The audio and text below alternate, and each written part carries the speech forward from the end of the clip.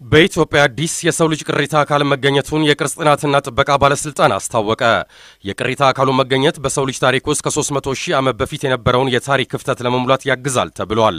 የቅርስ ጥናትና ጥበቃ ባለስልጣንና የኢትዮጵያ ፓሎቶሎጂስት ጥናት ቡድን በጋራ በሰጡት መግለጫ ከ30 በላይ የሰው ቅሪታ አካል ተገኝቷል። የተገኘው ቅሪታ አካል በኢትዮጵያ መካከለኛው አዋሽና ደቡብ ኦሞ አካባቢዎች እንደሆነም ነው የተገለጸው። ዘገባው የኢትዮጵያ ብሮድካስቲንግ ኮርፖሬሽን ነው።